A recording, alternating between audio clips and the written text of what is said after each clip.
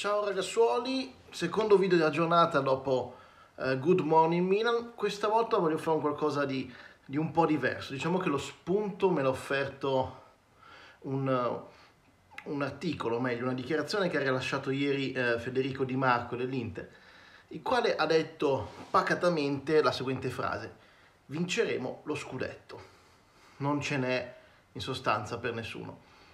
Ebbene, una cosa mi ha fatto pensare anzi mi ha fatto dire dentro me stesso, povero sprovveduto, nel senso che uno lo può anche pensare, ma è assolutamente sconsigliabile esporsi così perché eh, si presta il fianco poi ad essere accoltellati laddove la cosa non dovesse andare bene, chiaramente accoltellati a livello figurativo. Ma questo fa parte un po' anche dello spirito interista, diciamoci la verità. Eh, interisti eh, noti come Bauscia hanno proprio nella loro uh, personalità fatto spesso di fare i cosiddetti fenomeni. E noi milanisti invece, forse anche siamo troppo timidi solitamente, eh, tendiamo sbagliando ad abbatterci tremendamente e al tempo stesso dobbiamo cercare di fronteggiare questi fenomeni o gufi sul Milan che sfottono, che mh, si credono appartenenti alla squadra più forte del calcio nella storia, eppure eh, si deve sopravvivere, no? Noi dobbiamo sopravvivere.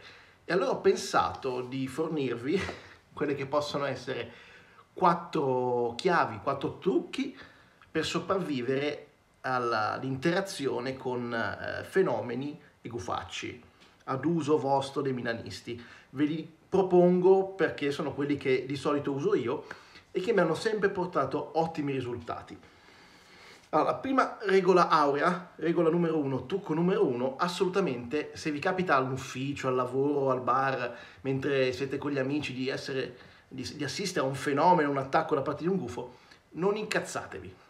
Cioè, eh, se sentite dire, ah ma siete una squadra di M, l'Inter è fortissima, vi diamo 50 punti di, di, di vantaggio, poi può anche essere, eh, però voi dovete vivere la cosa, eh, tenetevi le, le mm, mordetevi le guance, pensate a qualcosa di grottesco, surreale, non lo so, Di Maio che va a, a fare la missione diplomatica in Ucraina o cose di questo tipo, ma non cadete nel tranello perché è una provocazione. Perché poi se reagisci allora lì dicono eh ma cosa fai? E comunque ti esponi no? Vai a creare inutili inutili disguidi e eh, cadi nel loro tranello perché lo vogliono fare innervosire, vogliono provocare, vogliono, vogliono poi eh, eh, infierire laddove poi andasse male la cosa.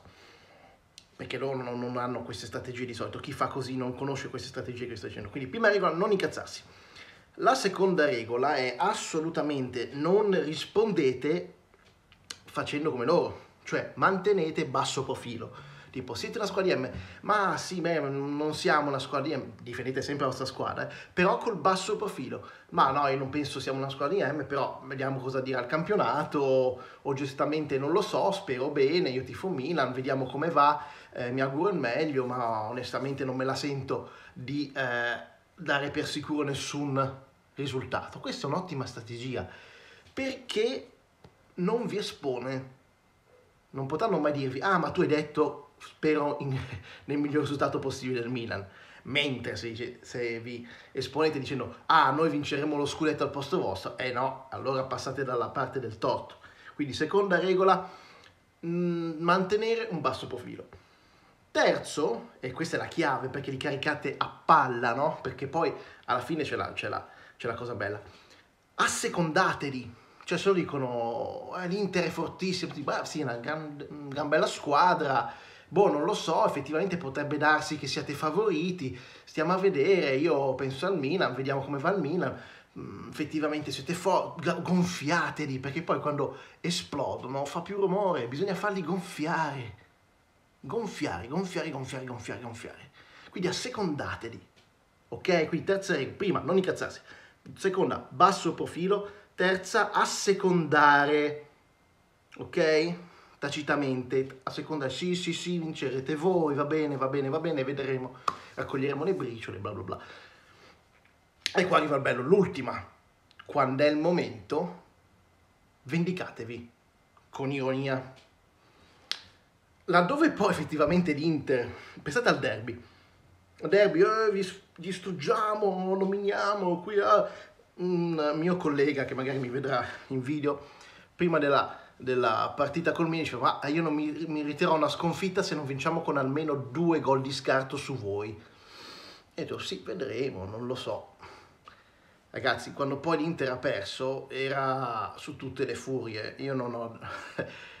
qualche, qualche scherzetto poi l'abbiamo fatto ed era oggettivamente una goduria infinita.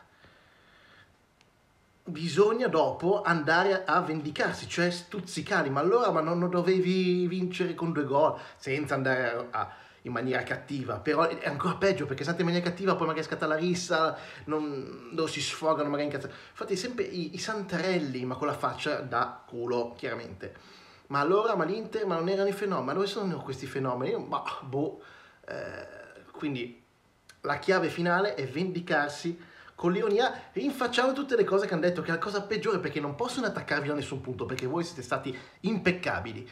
E poi vi riprendete la rivincita per chiudere eh, questo, questo, video di strategia, di, strategia eh, di interazione con i tifosi delle squadre opposte, generalmente però per lo più interisti perché hanno questo fare, o i gufaci. Ah, i gufi naturalmente in questo caso vi state facendo voi, voi questo, con questo approccio vi gufate l'Inter naturalmente, perché siete sì sì l'Inter vincerà, e beh, quello è un gufaggio top, quindi eh, questa, la conoscere questa strategia vi metterà anche in difesa nel riconoscere eventuali gufi, no? Noscete ipsum, diceva Socrate, quindi se conosci il gufaggio poi sai riconoscere un potenziale gufo.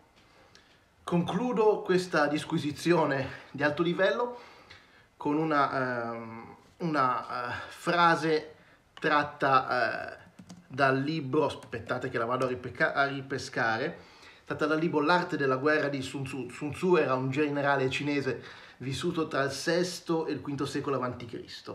Ebbene, la frase, secondo me, è perfetta per la chiosa di questo video.